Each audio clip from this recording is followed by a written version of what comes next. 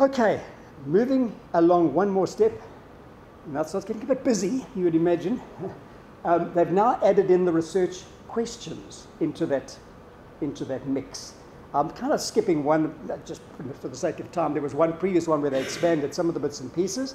But if you look at the content now, there's a little bit more drawn from the theory in terms of definition. And throughout that, they're saying we're going to look at the various types, there are three research themes. The first one is education decisions, and they're looking at conventional alternative assessment. So they've got three questions, each one addressing one of those purposes. So question 1.1 is linking up to the particular purpose of determining achievement, etc., etc. And, there's that alignment again. Even though this is less tight than a theory-driven one, it's, it's showing the links, and I think that's really, really critical.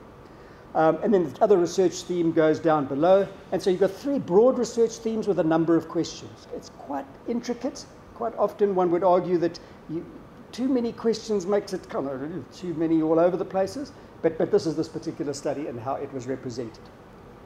Okay, so concluding remarks. You'll be relieved to hear. Very often, in this particular case, they did, did a lot of work in terms of uh, previous literature. A number of studies that have made strong use of a conceptual framework in the development of the actual study have proven successful. It just kind of pulls things together. One of the key things, we had a, a grant proposal uh, writing workshop, and someone said, What is the key problem with these grant proposals? And they said, Alignment. And we had submitted our research proposals, and very often it's alignment. The things kind of don't really link.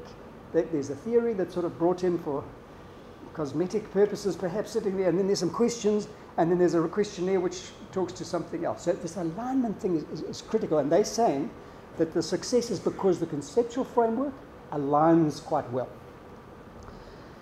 So the challenge to you as either doing research wherever you are or in your, in your various studies is take what you're doing now, imagine that your supervisor has changed, and draw a little conceptual framework of what you're actually doing. What does your thing look like? And have it on one page. Limit yourself to a page.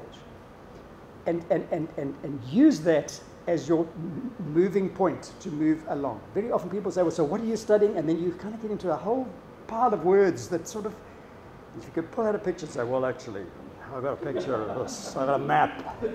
Okay, and then evolve it throughout your study. Okay, thank you very much, ladies and gentlemen. I've just about made my time.